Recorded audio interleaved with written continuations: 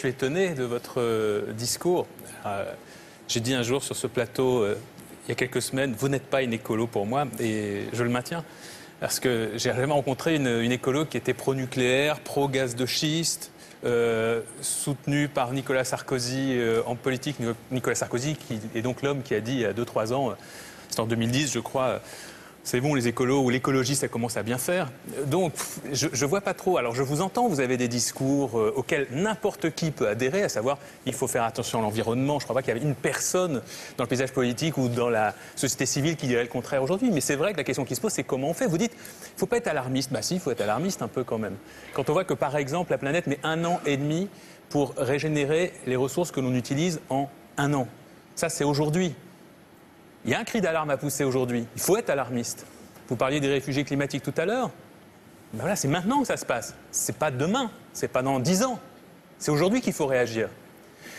Le réchauffement climatique, il y a des réunions sur ce sujet depuis 20 ans qui n'aboutissent à absolument rien, si ce n'est à des promesses qui ne sont tenues absolument par personne.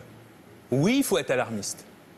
Oui, il faut un changement de société qui passe par une redéfinition totale des paradigmes. La croissance, vous dites, ah mais on est obligé de penser croissance, croissance, croissance. Mais non, ça n'a plus de sens aujourd'hui. Quand on se dit écolo, si vous ne disiez pas écolo, vous pourriez penser ce que vous voulez.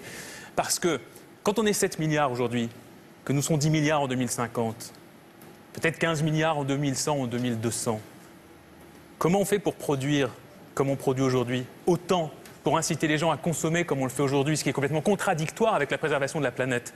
C'est-à-dire qu'en gros, il faut, pour qu'on se sauve nous, pour qu'on sauve notre planète, mais qu'on se sauve nous en même temps, il faut que notre voiture, on puisse la garder 8-10 ans. Il faut que notre frigo, on puisse le garder 15 ans. Il faut dire aux gens, non, n'achetez plus. C'est ça la décroissance. Et c'est pour ça que je ne comprends pas un mot de ce que vous nous dites quand vous dites, moi, je suis écolo. Alors, vous répondez à Émeric Caron, on sent, c'est la battle.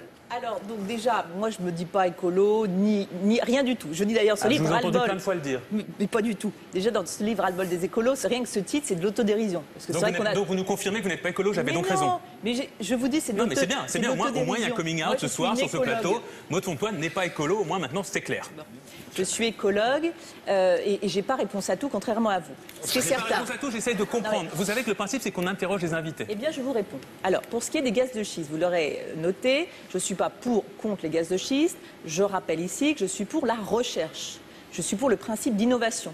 Je suis pour qu'on trouve, qu'on cherche au minimum une technique pour arriver à aller peut-être extraire ce gaz-là d'une façon écologique. Donc je suis contre les techniques polluantes, je suis contre les techniques actuellement existantes polluantes, je suis pour la recherche sur cette technologie. Par ailleurs, pourquoi le gaz? Parce que le gaz est l'énergie fossile actuelle qui est l'énergie la moins émettrice de CO2 dont on a besoin. Mais Parce qu'aujourd'hui, la solution, c'est pas d'aller vers du charbon ou vers du pétrole, Personne c'est ça. d'aller hein. vers de, Aucun écolo dit ça. c'est d'aller vers du renouvelable. Et pour aller vers le renouvelable, la meilleure alternative, et c'est pas moi qui le dis, c'est d'autres personnes comme Jean Covici par exemple, que vous devez connaître, la meilleure alternative, c'est l'alliance avec le gaz. Parce que quand il y a intermittence des énergies, quand il faut redéclencher une centrale, ça va plus rapide, ça consomme moins d'énergie qu'utiliser du gaz. Pourquoi j'en viens à soutenir, ou dans tous les cas, euh, ne pas éliminer la filière du nucléaire? Parce qu'elle représente, elle représente des emplois, ça ne vous aura pas échappé, un savoir-faire français, et surtout parce qu'aujourd'hui, on doit... Ça ne vous a pas échappé on doit- Fukushima, ça ne vous a pas échappé Aujourd'hui, la priorité, vous l'avez rappelé, vous avez dit le climat, aussi. Maud, vous n'êtes pas assez alarmiste. Aujourd'hui, la priorité, vous avez raison, Monsieur Caron, c'est le climat. Le climat, pourquoi? Parce qu'aujourd'hui, les rapports du siècle sont tous unanimes. Aujourd'hui, il y a plus- climat, il y a ça va plus- au-delà de ça, mais- Il n'y a plus de climato-sceptiques. Aujourd'hui, on est tous d'accord sur le fait qu'il y a une augmentation de la température qui est liée aux activités humaines. Oui, aujourd'hui, c'est un des gros problèmes. Et le problème qui est accentué sur l'acidification des océans qui va créer des problèmes en chaîne. Aujourd'hui, les Français ne se rendent pas forcément compte quand on parle de réchauffement parce qu'on se dit 1 ou 2 degrés, qu'est-ce que ça va faire? Le GIEC dit peut-être 2 à 5 degrés d'ici la fin du siècle. Il faut savoir que 1 degré de plus, c'est 7% de plus d'humidité dans l'atmosphère, donc c'est euh, des conditions climatiques catastrophiques au niveau inondation, sécheresse et le reste. D'autre part, un truc intéressant à avoir par rapport aux petites variations de degrés, quand on voit il y a euh, 20 000 ans de ça, euh, une, période glaciaire où les États-Unis, le Canada et l'Europe étaient sous la glace, et aujourd'hui période interglaciaire, il y a que 5 degrés de différence. Donc c'est très intéressant de dire ça. Pour, comment est-ce qu'on fait pour lutter contre le réchauffement climatique? Eh bien, on va trouver des énergies moins émettrices de CO2. Eh bien, Aujourd'hui, le nucléaire, c'est quand même la meilleure des solutions. Et Nicolas Hulot, que vous citez tout à l'heure, n'est justement pas contre c'est cette solution-là. très court terme qui n'a rien à voir avec l'écologie, justement. Mais ce que je vous dis juste, c'est qu'à un moment pas donné, à 10 ans, hein. ils réfléchissent à un siècle, deux siècles, trois siècles. il faut aujourd'hui être pragmatique. des milliers Il d'années en ce qui concerne les déchets nucléaires, par exemple. Il faut trouver des moyens. de financer la transition énergétique. La, la oui, mais solution, vous, les- mais vous, vous êtes pour vous, la l'argent, vous solution. voulez le mettre dans la recherche pour le gaz de schiste, qui est par définition pas écolo. Il est là le problème. Revenons sur le nucléaire. Euh, Ah, bah oui, changeons de sujet. L'Allemagne. Mais non, non, non, c'est le même sujet. Aujourd'hui, la solution, elle est où? Vous dites qu'il faut réfléchir à 10, 20 ans. Mais, mais bien sûr. Non, bien- moi, bien plus moi, loin, moi, je cite euh, les, les- les Iroquois qui réfléchissent à cette génération. Bien sûr qu'il faut avoir du long terme, et c'est pas ce qu'on fait en politique aujourd'hui. Qu'est-ce que font les Allemands aujourd'hui? Les Allemands, ils ont repris du charbon. au charbon. Ils reviennent au charbon. C'est dommage, catastrophique. c'est transitoire. hein. Eh C'est oui, pas, bah, pas un projet à long terme pour le coup. C'est pas juste Parce qu'ils ont dommage. jugé que l'urgence était effectivement après. Fukushima d'arrêter Oui. complètement le nucléaire parce que c'était ça l'urgence Tout le aujourd'hui. monde est d'accord pour dire que c'est catastrophique, qu'aujourd'hui c'est les plus gros émetteurs de CO2 d'Europe. C'est- juste pas possible. Quand vous dites Donc aujourd'hui, pro-nucléaire, ça veut dire qu'aujourd'hui, par exemple, on est à un moment où il faut qu'on réfléchisse à ce qu'on va faire avec nos centrales nucléaires. C'est-à-dire soit on réinvestit, On soit vraiment on se lance dans un programme où on arrête le nucléaire. On ne peut pas être entre deux. Vous, qu'est-ce que vous dites, par exemple? On ne peut pas sortir, elle dit, du nucléaire. Moi, je dis aujourd'hui, on ne peut pas, dans l'état actuel de nos connaissances sur les énergies non, Ce qui est vrai, renouvelables, c'est qu'on ne peut pas on ne veut arrêter pas. demain, effectivement, le nucléaire, là, demain, On la ne semaine peut prochaine. pas. parler maintenant?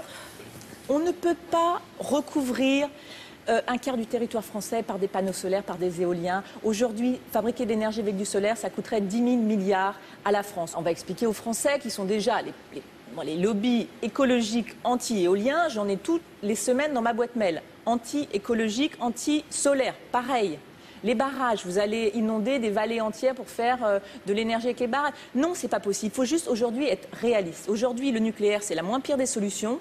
Et le gaz, par l'extraction non polluante du gaz de schiste, c'est permettre de faire baisser le coût de l'énergie, d'apporter une indépendance énergétique, parce qu'aujourd'hui on importe 98% de notre gaz dans des conditions que l'on ne va pas voir. Donc ça ne nous dérange pas d'utiliser une énergie en France qu'on va chercher ailleurs, cher, sans aucune condition de- d'environnement. non, non, non. Ce qu'on va faire en Algérie là-bas on va prendre des gaz de schiste, mais nous on ne va pas voir.